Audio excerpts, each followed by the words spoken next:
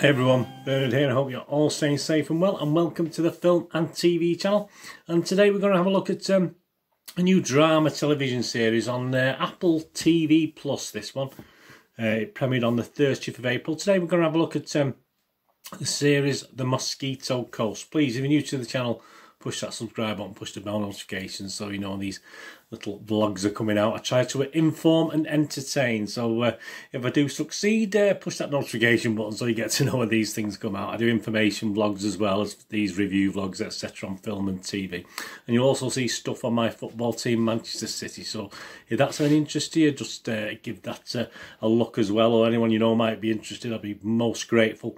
Uh, and please, uh, if you need any followers or friends on Facebook and Twitter, just just check me out. I do post loads of film and TV stuff on there as well. And there's links on screen. So I do try to follow everyone back within two or three days. I do check every couple of days and uh, follow everyone back on there. And all comments are welcome about this series or uh, or anything you want to talk about film and TV. And of course, if you can't leave us a comment today, you just give us a thumbs up. It's nice to get views, but it's nice to get thumbs up. Yeah, before I get into it, yeah, I mean, um, I did have a comment on one of my vlogs that um, I'm just quoting stats and other people's reviews. Well, that's part of what I do. Uh, it's my, uh, I actually put that, I think, on the title most of the time. It's information and reviews. So, of course, I'll include my own review on this as well. But I'll, it's just to give people information what other people are thinking as well. And I, I don't want to do what everyone else does. I don't think anyone else, everyone, anyone particularly does what I do. Uh, I don't want to just repeat, just want to start and go on and bang on about what I think about something. I, I want to give you an overall view of it. So, please anyway if, uh, if that appeals to you please stick with me. But obviously that gentleman that commented obviously you you have a choice don't you? You don't have to watch. But uh, just a little bit bit puzzled. I did answer him and say well that's what i do. I mean you know i do stats and information to give you that information. And obviously then i give my own views as well. So anyway that's how i like to do it. So uh, uh, i don't really care i'm not going to name the gentleman obviously. But uh, anyway hope you enjoy yeah, so we're going to have a look at the Mosquito Mosquito Coast. Uh, developed by Neil Cross and Tom Bissell, of course, based on the novel of the same name uh, by Paul Theroux, published in 1981. That was a long, long time ago. I never got never got to read the novel. Of course, I watched the film, but uh, more on that in a moment.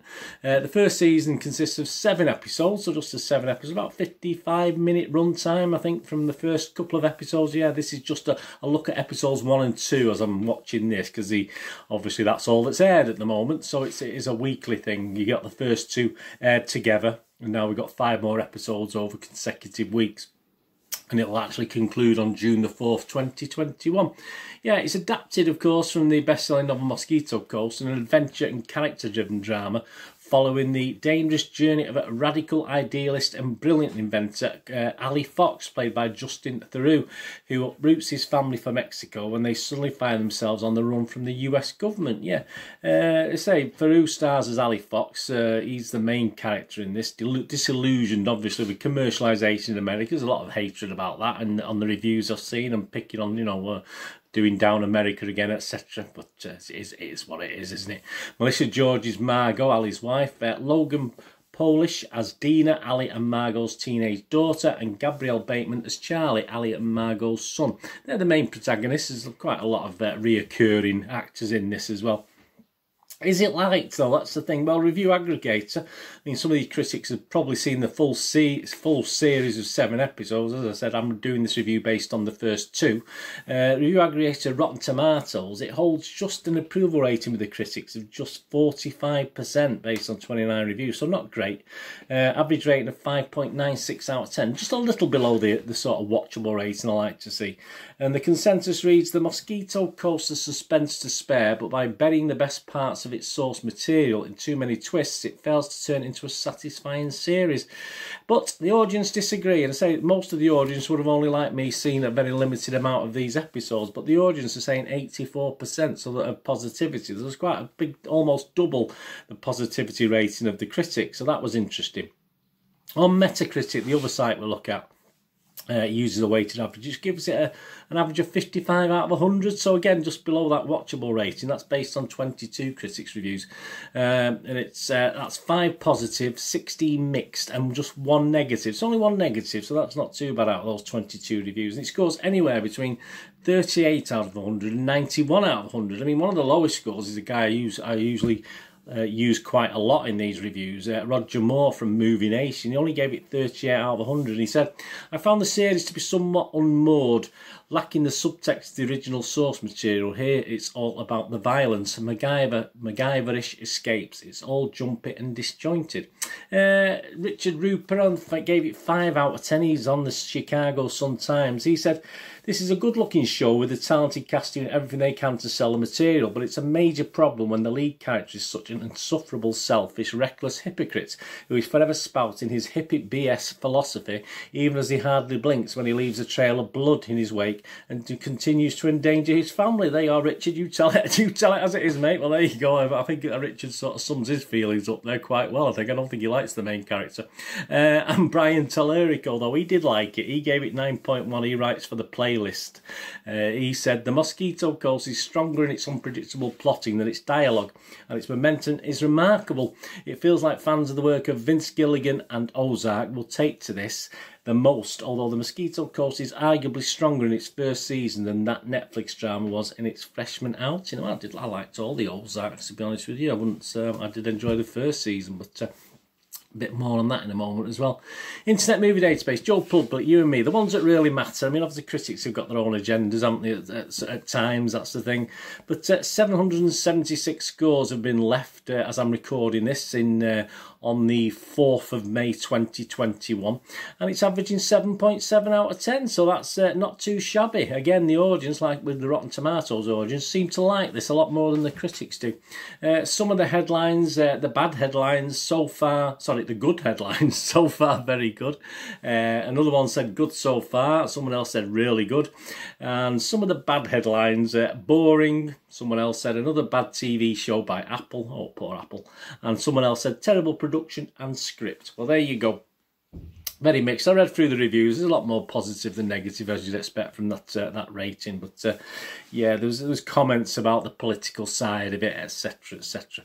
Right, my little thoughts. Yeah, I mean, Breaking Bad, Ozark. I mean, let's face it, was, superb uh, series in themselves, and uh, it's. Uh, I don't think after two episodes, I'm fairly sure this isn't going to perhaps get anywhere near those heights. But uh, I did find this these two episodes and the first two episodes engaging. Probably first the first better than the second, and it does uh, as your brain sort of you're trying to turn your brain off to watch it because some some things in it are a bit you know unbelievable but then you need your brain to work out well why is this happening? But uh, you're not supposed to really know just at the start anyway.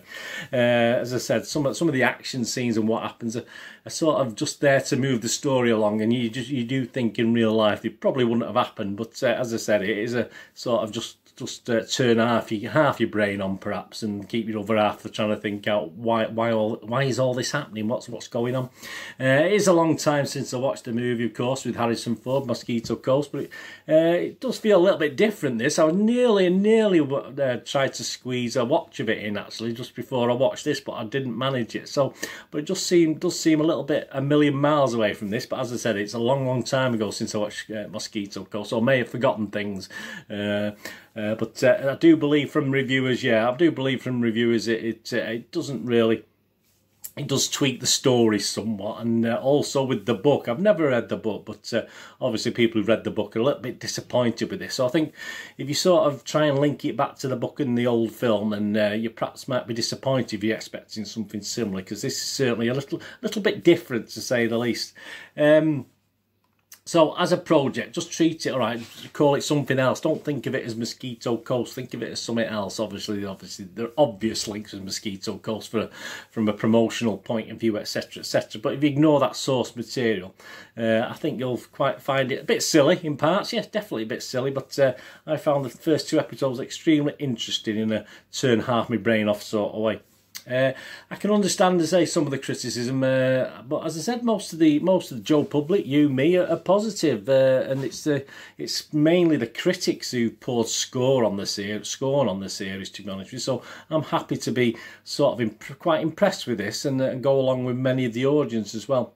It's it is a character driven thing with the occasional action-driven scene, etc. A bit of jeopardy thrown in, and uh, uh, this early doors, I don't quite, I don't mind the characters. As I said, I'm not, I'm not big fan of the lead character. He's a, he's a bit of a pain, but uh, I think the chemistry's okay. Uh, you know, petulant teenagers involved as well, and stuff like this, and backstories who've not been told yet. Let's be honest about it. This could, this series could be dragged on forever because there's certain backstories who are not being uh, informed about at the moment. So obviously it's deliberately done that. So is that a bad thing or a good thing? It can be both but uh, it certainly didn't harm the first two episodes because as i said i am thinking what why what how how the hell has this happened? How the hell have they got into this position in the first place? But uh, hopefully it will all all start to unravel as the thing goes along as I said, there's many many questions to answer, like like a really good good thrill. I mean, at the end of the day, you, you want to sort of, uh, but as long as it's a bit realistic, as I say, the elements of this are not quite hitting the spot on a realistic point of view at the moment. But I've tried to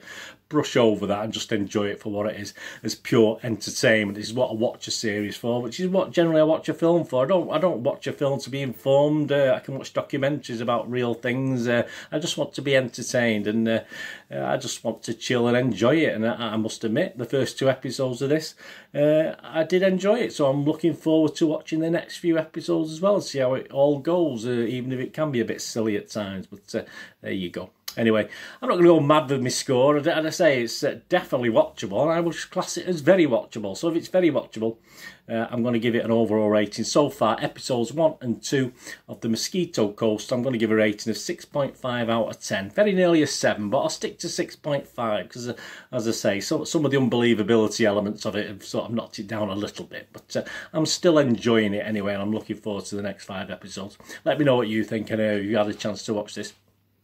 Anyway, whatever you're going to do rest of the day, have a great one. Look after yourselves, look after your friends, look after your families. More importantly, let's all look after each other.